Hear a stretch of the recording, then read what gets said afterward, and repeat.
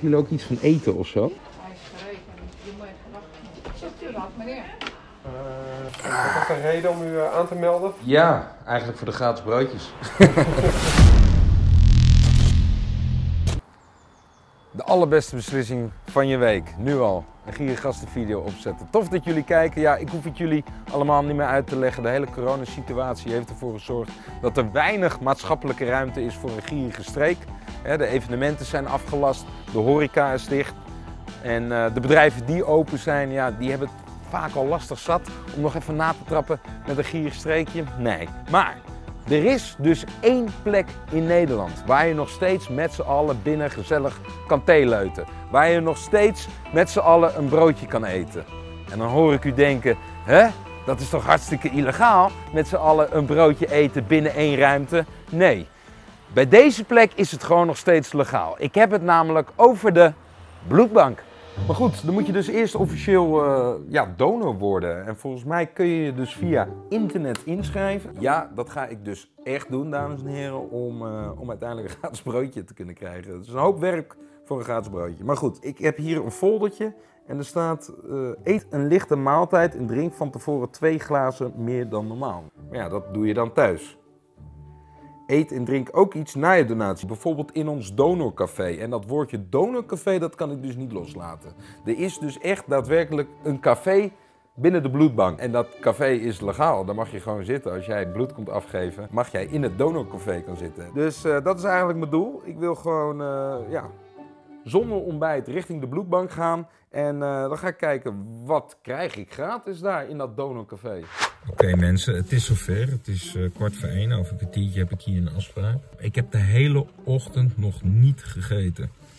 Ik kan je vertellen, ik heb echt bloedje en bloedje honger. Ik zit eigenlijk al de hele ochtend een beetje te fantaseren over het broodje wat ik ga krijgen. Ga ik het überhaupt wel krijgen? En als ik wat krijg, wat is het dan? Is het dan een simpele boterham? Of is het een heel luxe broodje? Zitten er pijnboompitjes bij? Ja, ik ben ook wel benieuwd naar beleg. Is het door de coronacrisis dat ze minder lekkere dingen in huis hebben gehaald? Hebben ze wel degelijk gewoon mozzarella bijvoorbeeld? En ik ben ook benieuwd of ze tomaatjes hebben of wordt het gewoon een broodje pindakaas? Er zijn heel veel verschillende gradaties van hoe hard ik kan gaan genieten zometeen van mijn gratis broodje. Ja, op zo'n tijd vind ik Nutella ook wel lekker. Broodje pindakaas, ja, ik vind dat wel scare. Weet je, ik kom wel gewoon mijn bloed doneren. Dat is natuurlijk wel wat. Het is niet zomaar even 5 euro die je geeft. Het is gewoon een stukje van je lichaam wat je weggeeft. Ik vind dat daar hoort wel echt gewoon een luxe broodje tegenover te staan. Ik ga mijn spycam in het waterflesje gereed maken en dan gaan we gewoon uh, zo naar binnen.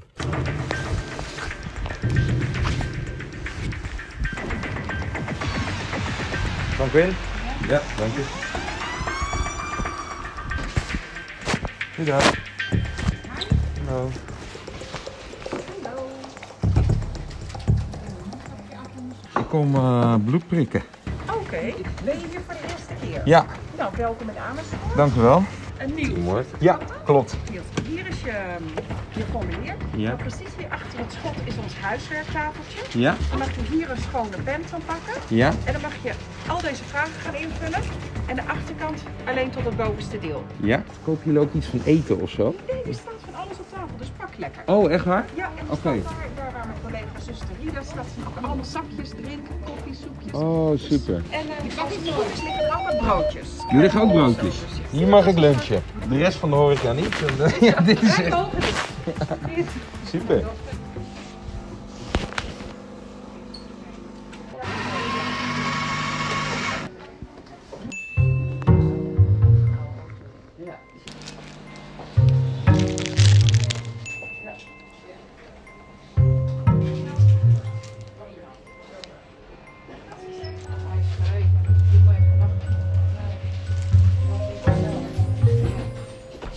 Meneer, Uh, ja, ik zocht een broodje. bro, wacht even. Ja. Ik ken nog één. Oh, leg er nog één.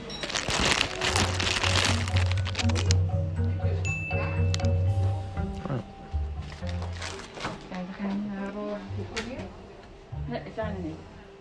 Roze koeken zijn op. Ja, vorige keer ook al, hè? En geen gevulde koeken meer ook dan? Alles op? Alles op. Alleen nog crackers. Alleen crackers. Precies als ik kom.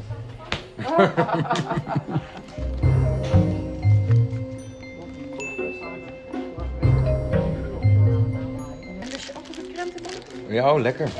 Heerlijk. Hartstikke bedankt. Ik heb nog niet ontbeten. Dus even inhalen. Gewoon in één keer ontbijt en lunch. Precies. Maar je moet het, voordat je wat bloed geeft, moet je altijd even eten. Ja, hè? Maar hij komt voor de eerste keer? Voor mij de eerste Oh, keer, dan ja. moet je alleen nog wat buisjes bloed Ja. geven, hè? Ja, nee, dus dat is niet zo... eh, Nee, ik veel. geloof vier of vijf. Oh. Ja, ja. Dat is zo gebeurd, hè? Tenminste, Oh, mijn zwaken vallen wel vaak vrouwen. hoor. Nou, bedankt. Nee, en, en ehm, eh, echt het bloed doneren, hoeveel, ehm, hoeveel is dat altijd? Halve liter. Halve liter, zo. Nou, goedemiddag. Goeiedag. Welkom. Wat was de reden om u eh, aan te melden? Ja, eigenlijk voor de gratis broodjes. Heel goed. Even kijken, uw HB is 8,4, dat is, eh, dat is goed, dat is eh, netjes. Eh, bloeddruk is ook mooi. Nu worden er vijf buisjes opgenomen. Vier. Vier. Doei, dankjewel hè, voor je goede daad. Alrighty. Dankjewel. Hele fijne dag, hè? En we zijn weer thuis. Oké, ik heb dus uiteindelijk vier buisjes bloed afgegeven. Dat wordt nu onderzocht in het lab. En dan gaan ze kijken of mijn bloed geschikt is om te doneren. Maar holy shit, een halve liter bloed doneren. Ik heb me totaal niet ingelezen. Ik wist niet dat het zoveel was.